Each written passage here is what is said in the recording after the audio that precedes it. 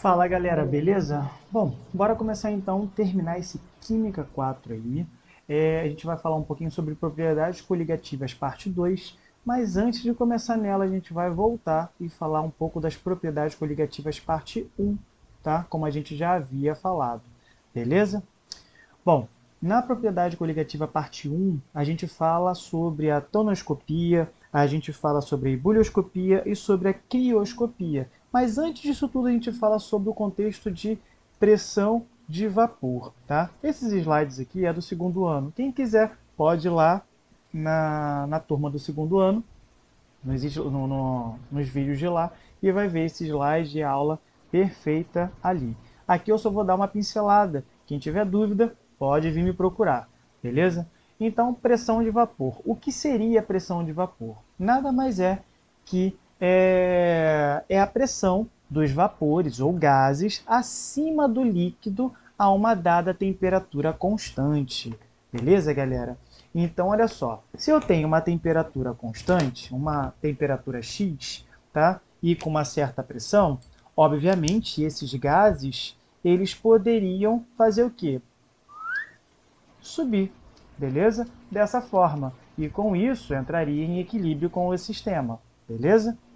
Então, nada mais é que a pressão de vapor é isso, tá? Então, é a pressão dos vapores tá, acima dos líquido, do líquido a, a uma dada temperatura constante.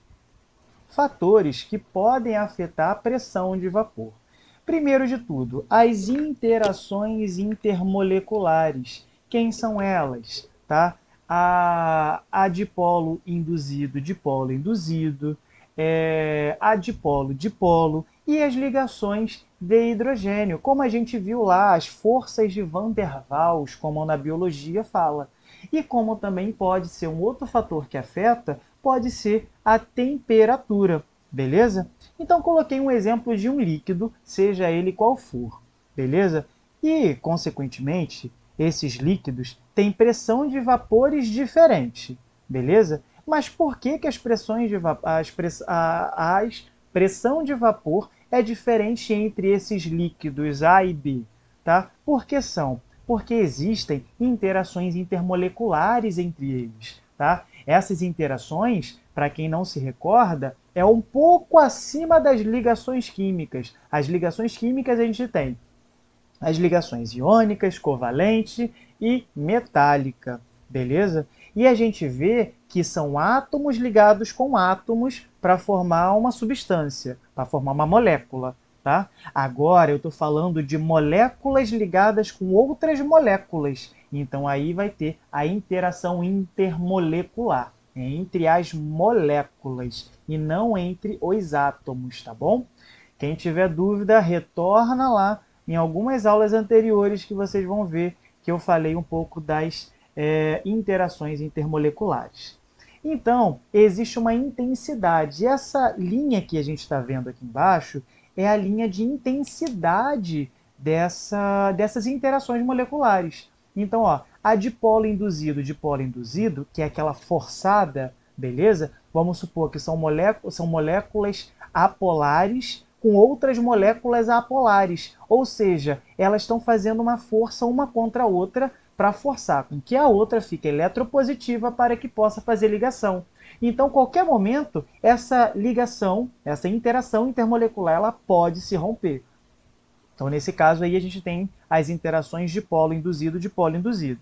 Ela é mais fraca do que a dipolo-dipolo. Quem são essas interações de polo-dipolo? São essas dipolos, são características de ligações iônicas, beleza? Onde eu tenho dois polos, positivo e o negativo, beleza? Então o negativo vai ligar com o positivo, o positivo vai ligar com o negativo e assim por diante. Esses tipos de ligações, né, esses tipos de interações, desculpa, elas são mais fortes do que essas forçadas, como é os de polo induzido. Bom, e, e, muito mais forte do que essas duas aqui, eu tenho as ligações de hidrogênio, que dependendo da quantidade de ligações de hidrogênios, eu posso ter é uma substância ela, é, com muita intensidade, beleza? Então vamos lá. É, coloquei esse, essa nuvenzinha ali para deixar bem claro e vocês anotarem no cantinho de vocês.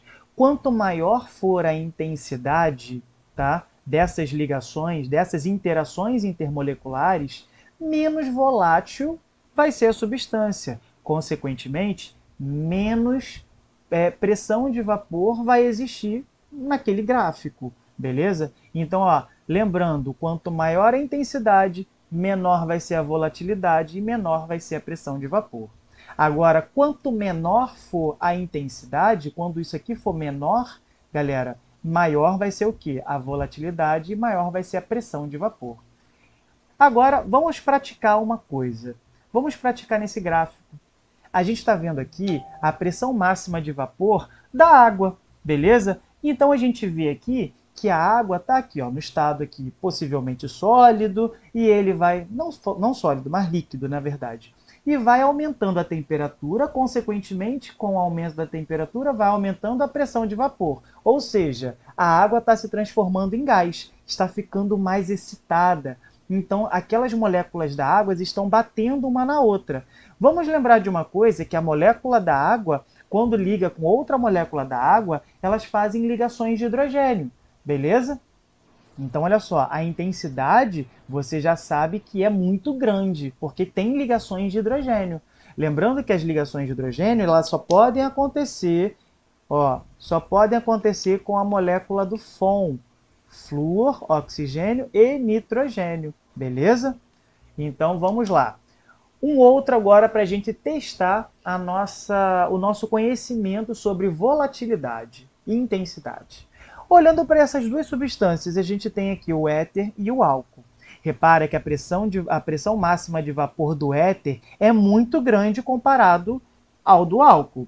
Então vamos parar e analisar. Se a pressão de vapor ela é muito alta, ou seja, se a pressão é muito alta, logo, olha só, se a pressão é alta, me, é, ma, é, maior vai ser a volatilidade e menor vai ser o quê? A intensidade. Por que, que vai ser menor a intensidade, galera?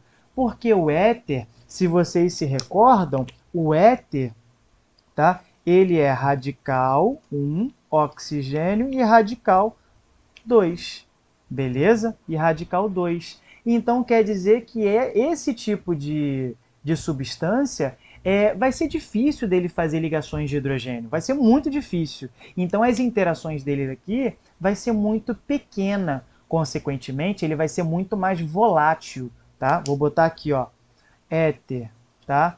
Ele é mais volátil e também tem maior pressão de vapor, beleza? Agora vamos comparar o álcool. O álcool, galera, ele tem o radical e tem aqui a hidroxila. Espera aí, hidroxila é, tem OH, então tem oxigênio ligado com hidrogênio. Se tem oxigênio ligado com hidrogênio, é a molécula do FON, não é isso? Né? O hidrogênio ligado com a molécula do FON, então ele faz ligações de hidrogênio. Se ele faz ligações de hidrogênio, galera, quer dizer que a intensidade dele aqui vai ser maior ou menor, beleza? Então vai ser maior, galera. A, a, desculpa, a pressão de vapor, galera, vai ser menor, tá? Pressão de vapor vai ser menor comparado com a do éter, logo ele vai ser menos volátil e vai ter mais intensidade, beleza? E aqui vai ser menos intenso, beleza? Show? Então, só para vocês repararem isso, tá? É, a questão de volatilidade, galera, é a questão dele se transformar em gás facilmente, tá? Então, ebulição. É, não vou usar mais esse, esse, esses slides, eu vou usar agora este daqui, tá? Propriedades coligativas, tá? Essas propriedades coligativas, então, são propriedades que surgem quando se adiciona, então, um soluto não volátil a um solvente. Não volátil quer dizer que o indivíduo não tem a tendência de transformar em gás facilmente. Beleza? Vamos lá. São eles, então, as propriedades: tanoscopia, crioscopia, ebulioscopia e a pressão osmótica. Dudu já falou sobre isso com vocês, beleza? Então, temos aí, depende apenas da concentração da solução. Então, quanto mais eu adiciono dissoluto, numa, numa, num solvente, eu estou aumentando a concentração daquela solução. Logo, vai interferir na propriedade coligativa, beleza? É como você colocar uma água né, e colocar sal. Coloca bastante água é, e bastante sal. Coloca 200 mililitros de água e 3 colheres de sal. E coloca no fogo. E depois você faz um teste colocando 200 ml de água pura. Tenta fazer aí qual desses dois aí vai entrar em ebulição mais rápido. Consequentemente, a água pura vai entrar mais rápido em ebulição. Beleza? Então, dependendo da concentração do soluto não volátil, pode alterar sim a propriedade coligativa da, de uma solução. Tá? Quanto maior a concentração, maior o efeito da propriedade em questão. Beleza? A primeira propriedade que a gente vem estudar é a tonoscopia. A tonoscopia estuda o abaixamento da pressão de vapor de um líquido causado pela adição de um soluto não volátil.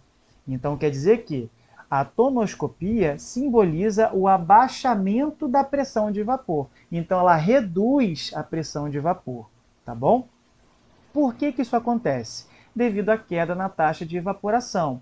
Exemplo, tá? Eu tenho a água pura, bonitinha, fechei aqui, né, isolei esse, esse meio, verifiquei aqui a pressão, tá vendo? Ó, 25 graus Celsius aqui fora, tá? E a gente verifica aqui que essa água pura, tá? Tem essa tal pressão. De repente, galera, olha só, 23,73 é, 76 milímetros de mercúrio, beleza? Aí, um certo momento, eu coloquei nessa água, eu misturei um mol de glicose. C6H12O6. Vocês reparam que teve um abaixamento da pressão de vapor.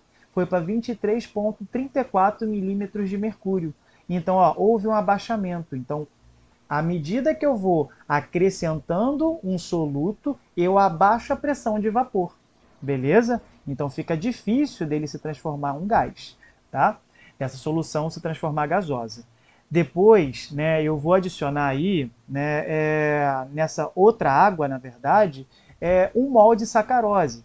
Vocês reparam que a, a glicose e a sacarose, né, a sacarose ela é mais pesada do que a glicose. Vocês repararam aqui, C12H22O11.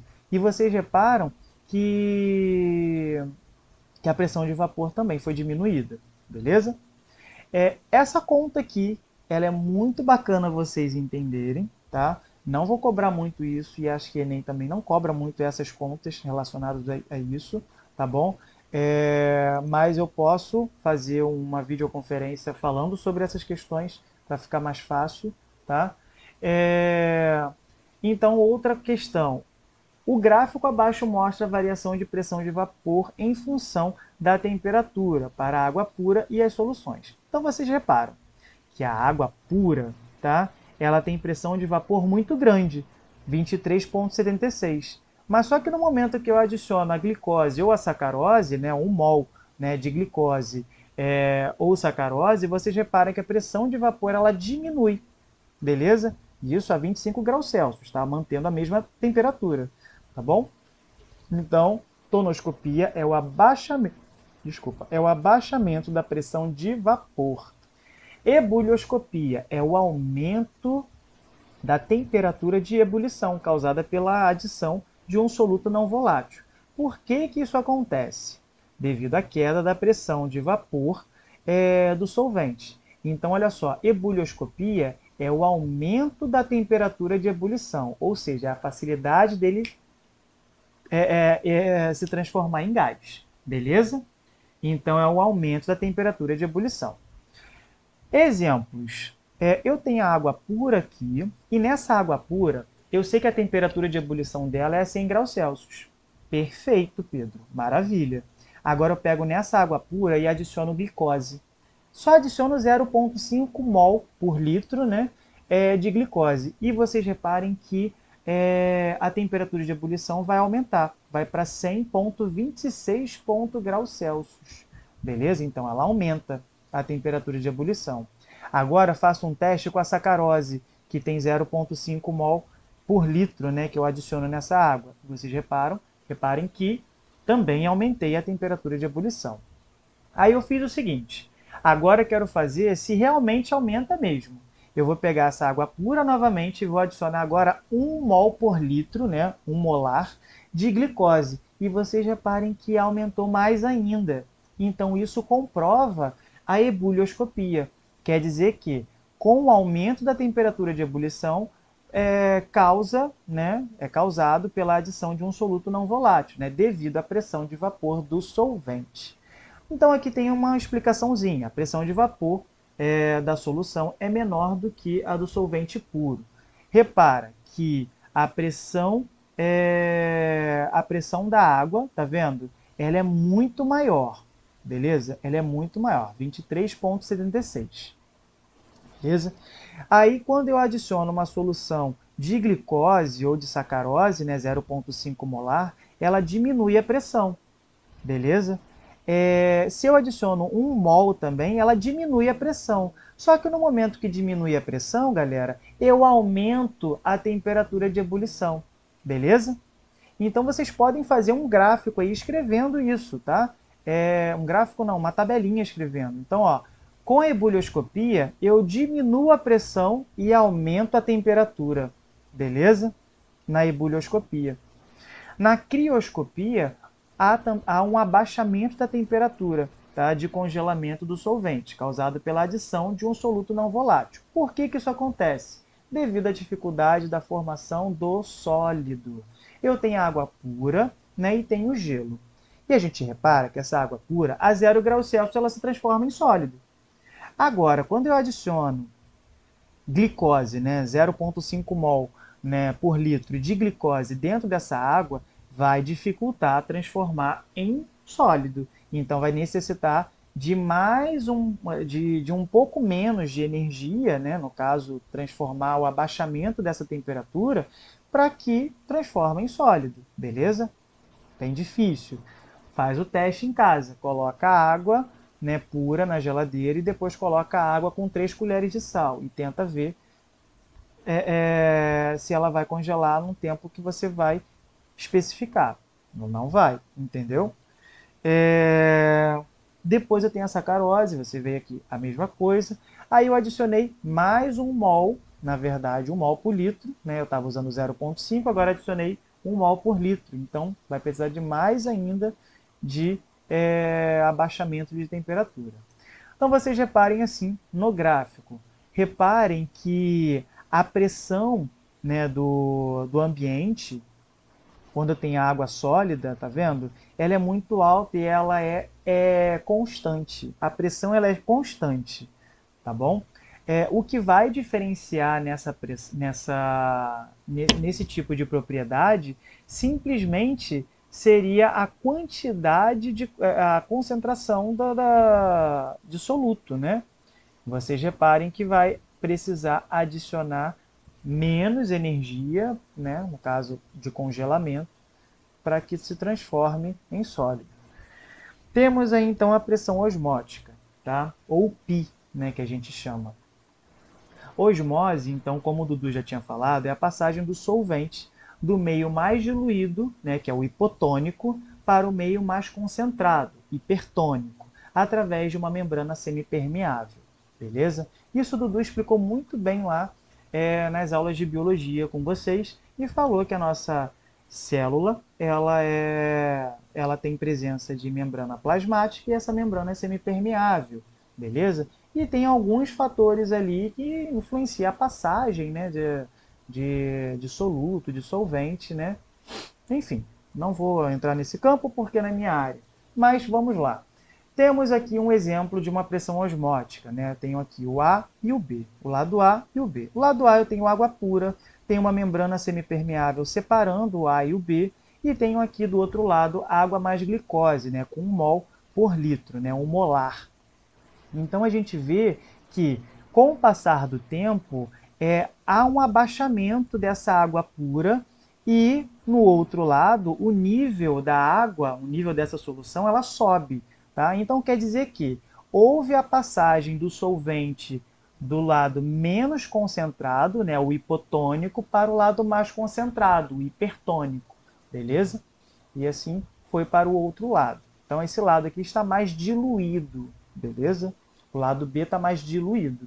Então, uma análise microscópica seria dessa forma. Eu tenho a água pura, que é uma molécula de H2O, tá vendo aqui todas essas bolinhas aqui são as moléculas de H2O, ela passa com grande facilidade pela membrana é, semi, é, semipermeável para o lado que tem a água com glicose, né, a solução de água com glicose, beleza? Então passa do lado é, hipotônico para o lado hipertônico, beleza? É, a gente pode interromper a osmose né, através da pressão osmótica. Como que a gente faz isso? A gente adiciona uma pressão no lado aonde está hipertônico. Então, isso dificulta com que o lado hipotônico passe pela membrana, é, membrana semipermeável. Com isso, dificulta essa passagem do meio hipotônico para o meio hipertônico. Beleza? É, obtendo a água pura a partir da água do mar. Também é possível pela osmose reversa. Tá? Como que acontece a osmose reversa? Simplesmente, eu pego a água salgada, tá? levo o mesmo processo da osmose, mas só que ao invés de eu passar o lado hipotônico para o hipertônico, eu vou forçar, eu vou, vou, vou adicionar uma pressão no lado hipertônico para passagem de água para o meio hipotônico. Com isso, eu tenho aí é, a, a, a filtragem, na verdade, do, do sal por essa membrana semipermeável. Beleza? Tem, Existem algumas contas que envolvem a questão de propriedades coligativas, tá? Mas, como eu já falei, Enem não cobra muito é, essas contas, mas cobra mais a ideia da que vocês saibam o que é uma tonoscopia, o que é uma ebullioscopia, o que é osmose, o que é crioscopia, o que é osmose reversa. Então, Enem pede isso para vocês. Então, tem um fator de correção de Van 't Hoff, tá? que é o I. Então, o I é igual a 1 mais alfa, que é o grau de ionização, Q, que é o número de íons, menos 1. Então, isso daqui, a gente faz isso daqui. É, o que, o que é o número de íons, né? Aqui eu botei o exemplo do cloreto de bário, tá? O cloreto de bário, a gente tem que ter noção de que esse cloreto de bário, quando adicionado em água, o que, que acontece com esse cloreto de, de, de bário? Ele vai é, ionizar, beleza? Eu vou tentar abrir aqui a minha, o meu quadro branco para mostrar para vocês. Então, galera, olha só. Olha só o cloreto de bário eu tenho BaCl2. Quando eu adiciono em água, vai formar íons, beleza? De bário, tá? É, lembrando que o bário não é mais, tá? Fiz errado aqui. Então é 2 mais, porque ele está na segunda coluna da tabela periódica, mais Cl, beleza? Com isso, a gente tem que fazer balanceamento também. Então eu tenho um bário Beleza. Agora eu tenho dois cloros, então vou ter que fazer o quê? Dois aqui. Vai ficar mais bonitinho. Vamos cortar aqui. E vamos botar esse mais um pouquinho mais na frente. Beleza? Então temos aqui. Quantos átomos, então, é, quantos átomos, quantos íons são formados, então? Eu tenho um bário mais dois. Então, um mais dois vai dar três íons formados após a ionização na água. Tá bom? Deixa eu voltar para cá. Então, por isso que o Q é igual a 3. Tá? É, vou botar um exemplo aqui, que aí vai ficar um pouquinho mais fácil também. É, temos aqui o NaCl. Tá? Eu quero saber quantos íons vai acontecer aqui depois da ionização em água. Então, eu tenho aqui Na mais mais Cl. Então, quantos íons foram formados? Foram formados apenas dois íons, beleza? Então, é nessa ideia que a gente tenta aí verificar o quê? Fator de correção de Van 't Hoff, tá? É, que é o I. Essas contas aqui tem todas no livro de vocês.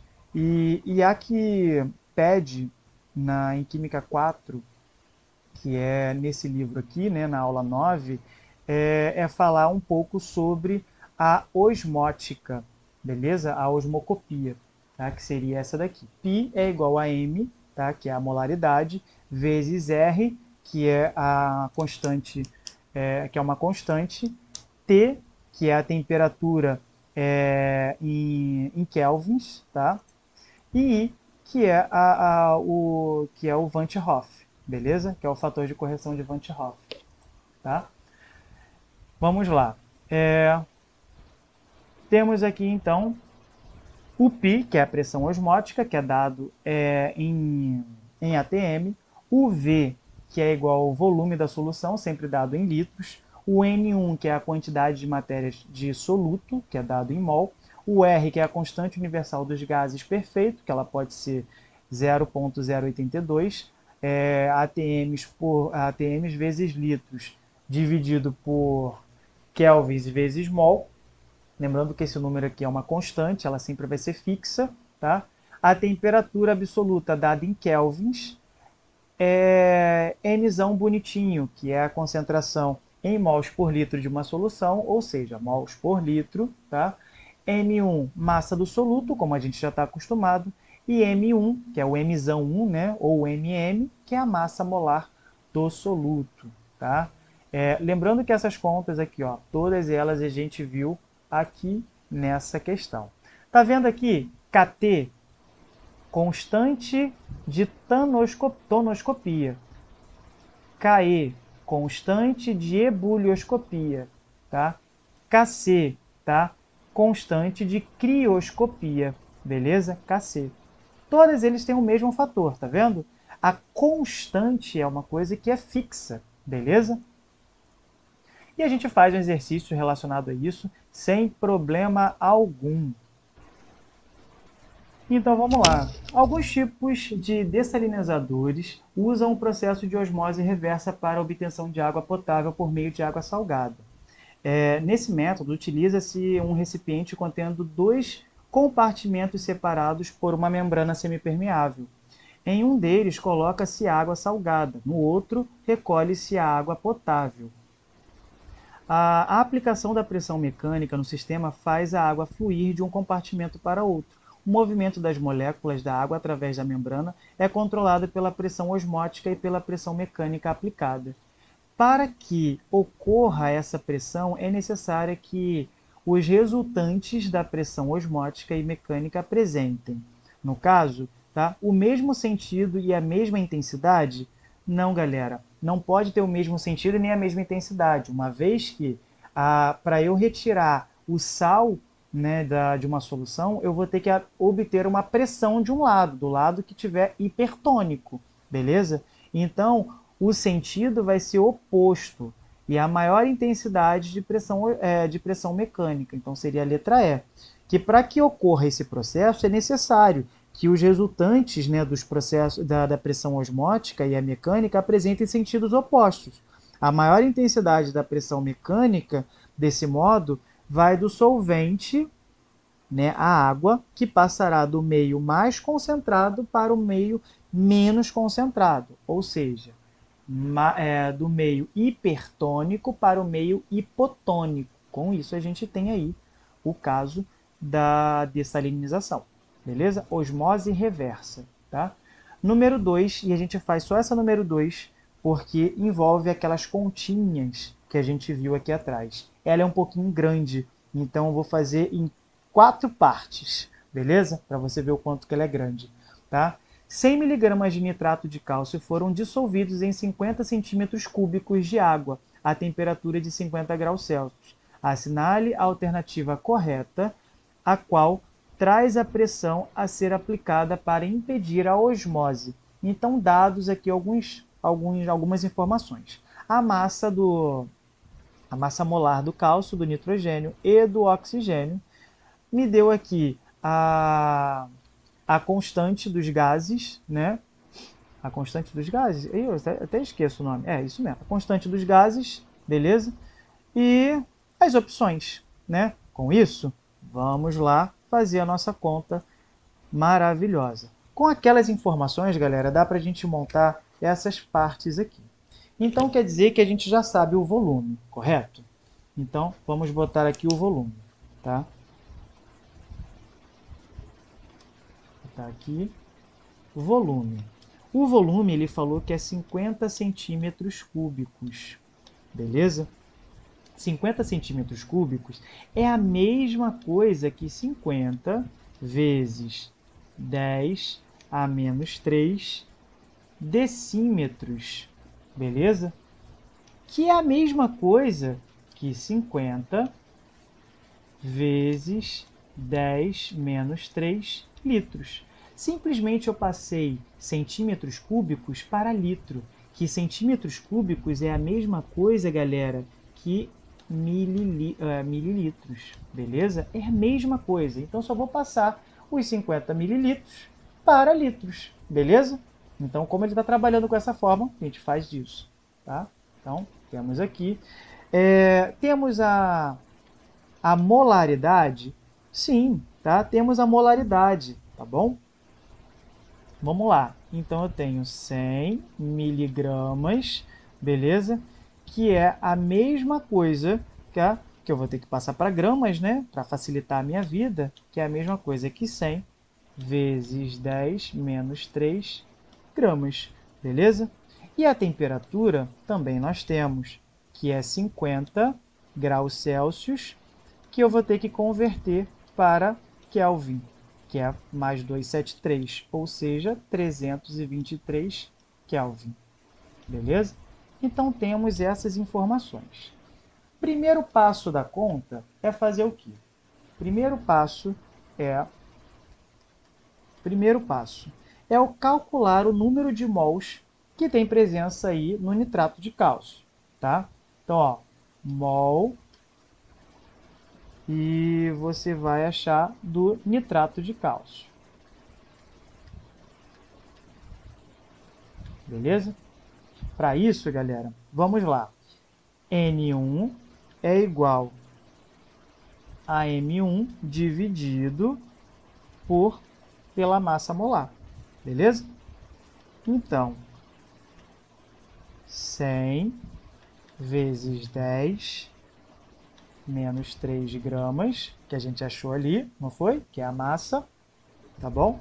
Deixa eu só consertar aqui, que o tio Pedro fez errado aqui. Aqui significa massa e não molaridade. Beleza? Então temos aqui. E é isso tudo aqui dividido pelo valor da massa molar. Não é isso? Que é 1,64 gramas por mol. Que esse resultado aqui vai dar por volta de 0,61 vezes 10 menos 3 mol. Beleza? Achei, então, a quantidade de mols relacionado ao nitrato de cálcio. A segunda parte da questão, tá? a gente tem que achar a molaridade dessa solução. Vou botar aqui, ó, molaridade. Beleza? Na molaridade, a gente vai usar mol é igual, é, mol por litro, na verdade, é igual ao número de mol dividido pelo volume da solução. E isso ficaria. O número de mol a gente já descobriu lá em cima. Vezes 10 a menos 3 é, dividido por a quantidade do volume né, da solução, que é o 50 vezes 10 a menos 3 litros. Que aqui vai dar aí por volta de 1,22 vezes 10 a menos 2, o que? Mol por litro. Beleza? Achei essa parte aqui agora. Agora, na terceira fase da conta, a gente faz o seguinte. Tá? A gente calcula, então, o valor do I, ou seja, o fator de Van 't Hoff. Beleza? Vou botar aqui, ó, valor de I. Beleza? Então, para fazer o valor de I, a gente considera o alfa igual a 100%. Beleza? Uma vez que a questão não falou nada. Beleza? Então, se a questão não falou nada, eu considero o valor de 100%. Beleza? Então, ficaria dessa forma. CaNO3 Beleza? Vai gerar então, se eu adicionar em, uh, se eu adicionar em, em água, vai gerar esses indivíduos. Beleza? E eu tenho que balancear. Só tenho um cálcio, beleza. Agora eu tenho duas moléculas de NO3. Então logo vai ser 2 aqui. Beleza? Com isso, galera, a gente vê aqui que 1 mol de nitrato de cálcio forma 1 mol de íon de cálcio e 2 mol de é, de nitrato, tá bom? Então, ficaria I igual a Q, que é igual a 3 mol. Por que 3 mol? 2 com mais 1 vai dar quanto? 3 mol, correto? Dividido por quem? Por 1, beleza? Por 1 mol, que é relacionado a isso daqui. Show? Então, isso aqui ficaria igual a 3. Beleza? Ter, é, quarta e última fase da conta, a gente coloca essa daqui, ó. Tá? Que é onde a gente calcula a pressão osmótica. Beleza? Que seria o π. Tá bom? Para utilizar essa questão do π, eu preciso utilizar, então, o π, que é igual a molaridade vezes R vezes T vezes I. Beleza?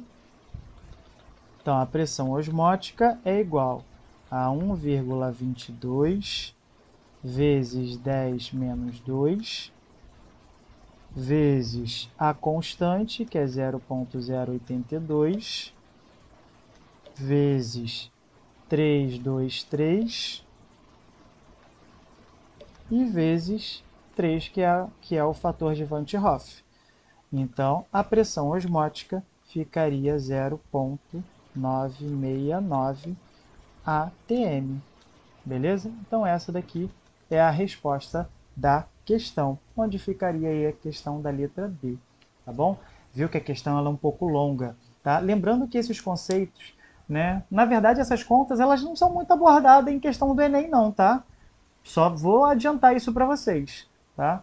É, a questão é que vocês entendam o processo, tá bom? Então, galera, nossa aula foi até aqui. Espero que vocês tenham gostado. Qualquer dúvida, me envie mensagem e tire suas dúvidas lá na, na videoconferência, beleza? Valeu, galera, e até a próxima. Tchau, tchau.